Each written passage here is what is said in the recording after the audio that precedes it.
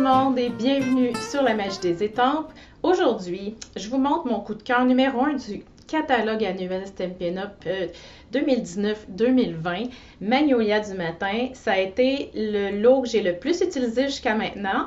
Et je vous montrerai non seulement une, mais deux belles techniques avec celui-ci. Donc, je vais vous proposer deux techniques, une plus rapide à exécuter et l'autre plus longue quand vous allez pouvoir vouloir vous détendre en bricolant. C'est bon pour le moral, hein? Donc, profitons-en. Donc, pour les deux cartes que je vais faire devant vous, vous allez avoir besoin du papier blanc miroitant. Le papier blanc miroitant, il est un petit peu ivoire, donc pas aussi blanc que le murmure blanc, mais il y a des petites incrustations euh, brillantes dedans, comme des mini-mini, des micros brillants. Il est très, très doux et il accueille très, très bien l'eau. Donc, pour les techniques que je vais vous montrer qui, vont vraiment... Euh, on va mettre autant d'eau que si on utilisait un papier pour aquarelle. C'est vraiment le fun d'avoir un papier lisse qui accueille beaucoup d'eau comme ça. Pour la première technique, on va utiliser les nouveaux cristaux d'aquarelle de Stampin' Up. Donc, euh, si ça vous intéresse j'ai un cours technique d'estampage euh, qui propose euh, des, trois belles techniques avec les brushes Les brushes c'est les anciens pigments qu'on avait. L'avantage des cristaux d'aquarelle de Stampin' Up, c'est la même chose que les brush sauf que c'est nos vraies couleurs. Et personnellement, je trouve que les couleurs sont plus franches. Et on n'a pas de mauvaise surprise, comme des fois, on avait de la misère avec le vert, les brush ça tournait au brun, au violet. Moi, personnellement, j'aimais moins. Alors ici, pas de surprise. Ce que je vais commencer par faire tout d'abord, je vais gaufrer en doré mon motif.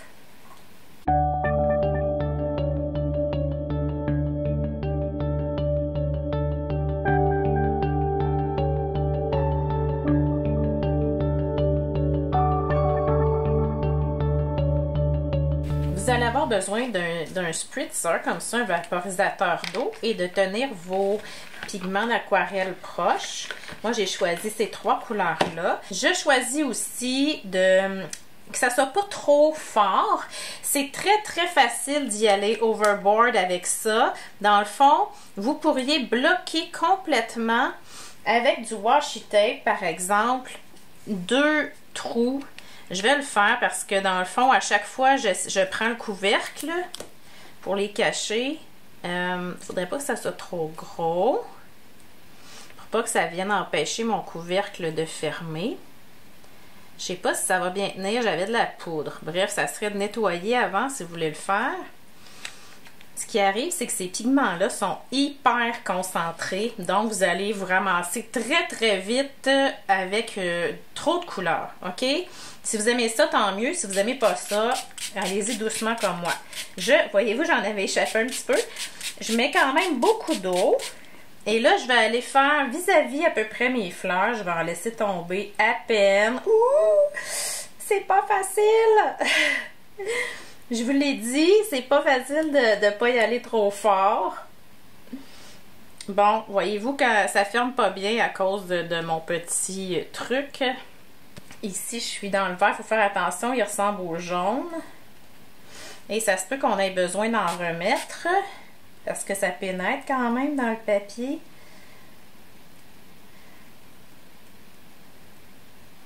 Bon, c'est pas la, justesse, euh, tu sais, c'est vraiment aléatoire. Là, ça va être beaucoup plus fort que ce que je voulais.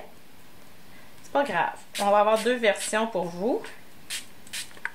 Et là, je peux faire, regarder ce que je viens de faire. Je, veux en avoir par là, j'envoie mon spray par là. Je veux en avoir dans ma fleur ici, je l'envoie par là.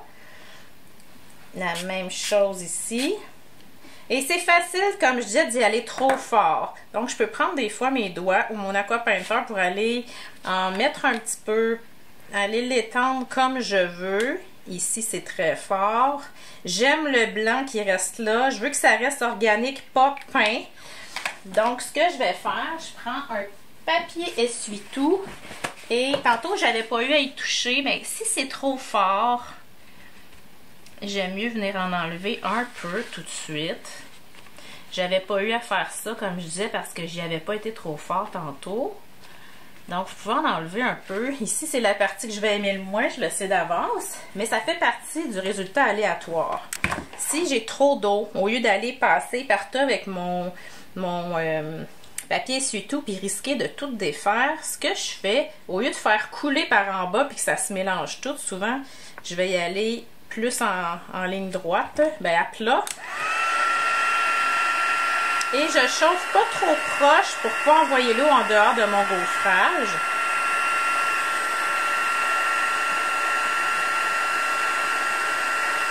Alors voilà.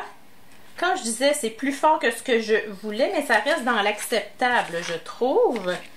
J'avais prévu une base blanche, donc murmure blanc, parce que je voulais tempérer un peu le tout. Ici, euh, je suis venue poser une pièce de feuille métallisée dorée de 4 euh, pouces par 5 écarts.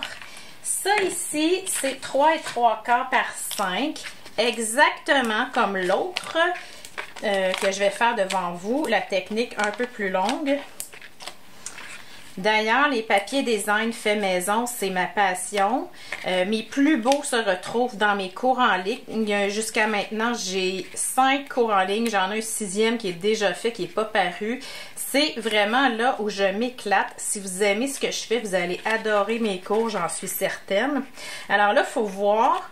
Si je le mets comme ça, mon vœu va venir vers la partie que j'aime un petit peu moins. Hein, on calcule nos choses sans que ça soit trop forçant.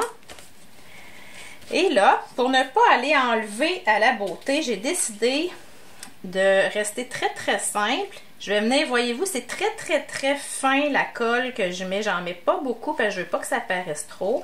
Vous pourriez, il y en a qui, qui estompent ça avec un doigt éponge. J'ai jamais eu besoin de faire ça parce que j'en mets très peu. Alors, voilà. Et j'ai décidé d'aller ajouter une touche encore plus wow, plus pour aller répéter le doré en gaufrant en doré une des petites fleurs du jeu d'étampes. Ça pourrait être ici pour celle-là. Faut pas que ça dépasse trop parce que je veux que ça rentre bien dans mon enveloppe.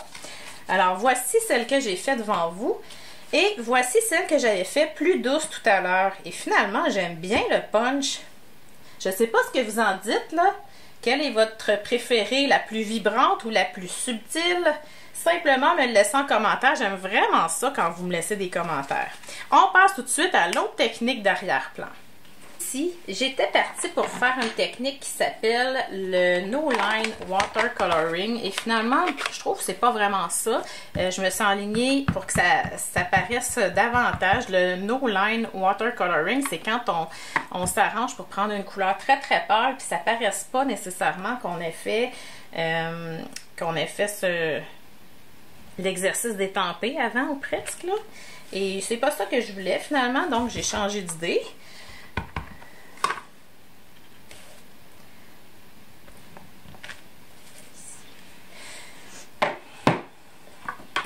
J'ai ancré en sable du Sahara. Et maintenant, j'ai choisi Corail Calypso, Calico Coquelicot, on va s'en servir pour peindre. Donc, pressez un petit peu ou mettez une goutte de recharge. Pour les feuilles, je voulais du punch. Donc, grenouille guillerette. Et Copacabana. C'est curieux, mais oui, j'ai décidé de mettre ça. Là, vous allez sortir votre aqua painter et on va les peindre. Moi, j'aime beaucoup ne pas me casser la tête et avoir, euh, avoir toujours une petite couche de fond, pas compliquée. Donc ici, je vais venir dans Corail Calypso. Et là, ce qui est euh, un peu bizarre, c'est qu'habituellement, quand on vient peindre euh, sur une encre qu'on vient d'appliquer comme ça, elle serait supposée couler. Et je m'en attendais. Et la mienne ne coule pas. Donc, ben, j'en profite, ça fait mon bonheur. Ici, on voit que les fleurs sont toujours habituellement plus foncées au centre. Donc là, je ne fais rien d'étudié, OK? Euh, J'y vais souvent par petites touches. Je touche pas sans arrêt. Mon pinceau ne touche pas sans arrêt à ma surface. Donc, je bâtis. Là, vous allez peut-être trouver ça long. Mais euh, c'est vraiment pas long à faire euh, quand on en profite pour se détendre. Ça coûte moins cher qu'un psy, c'est ce que je dis tout le temps. Donc, je bâtis lentement.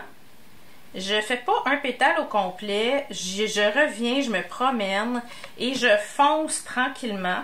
Et à mesure que ça sèche, ben là, plus on y va fort, plus euh, ça, bâtit sur les étapes qu'on a faites en dessous.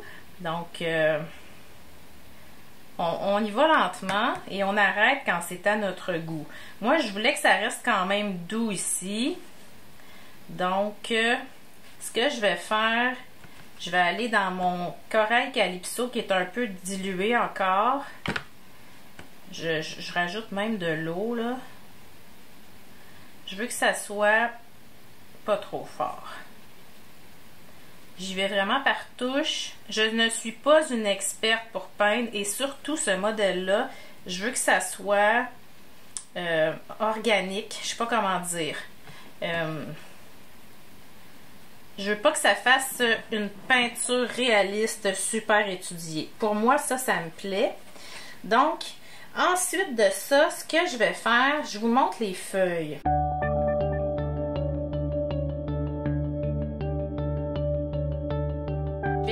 aller faire très très délicatement et très dilué un fond. Pas partout, là, c'est juste pour dire que c'est pas blanc. Je pourrais estomper aussi un petit peu de Copacabana.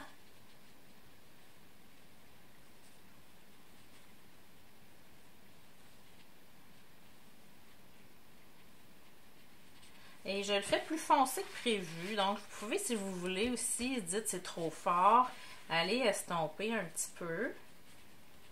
Voyez-vous comment c'est pas compliqué? J'avais fait une grande feuille. Là, je vous le montre en plus petit pour qu'on sauve du temps. Je mélange mes deux couleurs et je viens faire des petits picots. Comme ça.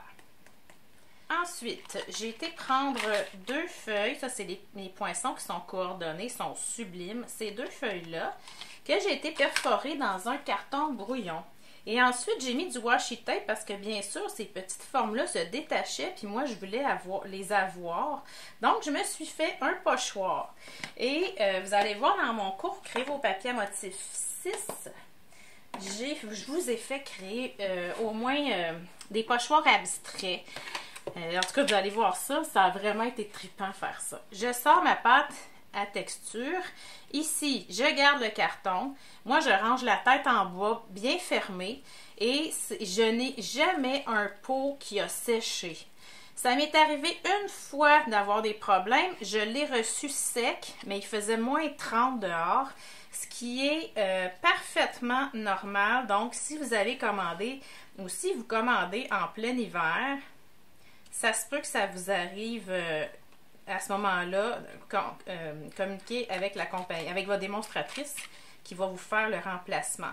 Voyez-vous, là, mes, mes feuilles, elles étaient déjà bloquées. C'est un pochoir qui est temporaire. Puis là, moi, j'essaie de m'en servir plus qu'une fois. C'est pas l'idéal. Je vais avoir, j'aurai pas des feuilles, je vais avoir des, des petites euh, hachures. Ce que c'était pas prévu, mais c'est pas grave. Vous allez voir mon original, on voit vraiment les feuilles. Et je déteste pas le genre de mouvement géométrique que ça donne. Il n'y a rien pour rien. Si vous arrivez sur un coin comme ça, allez tout de suite l'enlever pour pas que ça soit raboteux, comme on dit. Et vous pourriez dire, je vais me faire des points. J'ai pris une perforatrice je me suis fait des points. Des, fois, ça peut remplir des trous dans nos papiers design et là, on veut mettre de la texture, donc j'aime ça. Je vais venir superposer. Je n'étais pas supposée, mais par-dessus ma fleur, ça va y faire du bien. Et là, petit truc, avant de serrer votre pâte à texture, je l'ai pratiquement jamais fait, mais là, j'ai commencé à le faire en prévention avant de fermer. Envoyez un petit peu d'eau. Refermez bien comme il faut. Tapez sur votre bureau, ça va l'amener. Ben moi, j'aime bien le ranger tête en bas. Ça bloque l'air qui pourrait rentrer en même temps. Et puis, on termine ça avec du Smush Spritz maison. Voilà. j'ai une vidéo juste sur le Smoosh Spritz sur ma chaîne YouTube et vous allez voir ce que j'ai fait avec ça. Je suis sortie de la palette, j'ai pas été pigée dans Copacabana ni euh, les autres couleurs. J'ai utilisé macaron à la menthe, fleur de cerisier pour faire de la diversité visuellement. Regardez ça. Et puis, mon modèle du départ, regardez quand je fais mon papier, ça ressemble à ça. J'avais pas fini, je voulais le finir avec vous. Finalement, j'en ai fait un complet. Ce que j'ai fait, c'est que j'ai utilisé le lot prose louable que j'adore parce qu'on a des définitions, c'est toujours super gros la mode et la possibilité de faire plein, plein, plein de mots, de phrases. Vous avez également des astérisques, des, des accolades.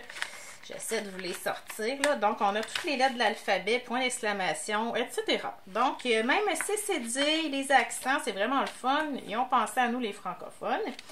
Alors, ça m'a donné ça en vélin pour pas que ça prenne toute la place. Mon merci qui a été collé directement. J'aime vraiment ça. Ici, ça va être une carte sans vœux parce que je trouve que ça n'en prend. il nous en manque tout le temps. Et puis, ce, sont les deux techniques que je vous ai montrées aujourd'hui. Je vous demande si vous aimez ça, de partager à vos amis, ça m'aide beaucoup. Et n'oubliez pas de visiter une section qui est souvent oubliée, mais qui est une mine d'or d'informations sur la magie des étampes. C'est la section Apprenez avec moi apprenez en ligne avec moi. Donc, c'est ma bibliothèque gratuite, c'est toutes les vidéos gratuites et c'est mon école où je donne mes cours en ligne que vous pouvez mériter en commandant avec moi. Alors, si vous avez aimé ça, montrez-le moi. Je veux avoir vos commentaires parce que j'ai travaillé très fort pour vous proposer deux vidéos dans une. Comme toujours, je vous incite fortement à aller visiter lamagiedesétampes.com. C'est le site d'estampage francophone Stampin' Up le plus garni au Canada. Donc, ça fait 14 ans que je l'alimente plusieurs fois par semaine. N'oubliez pas de visiter la section Apprenez avec moi où vous trouverez des patrons, des tutoriels à imprimer, la bibliothèque où trouver plein de ressources classées par sujet et bien sûr mon école de cours en ligne. Bonne journée, merci de me suivre.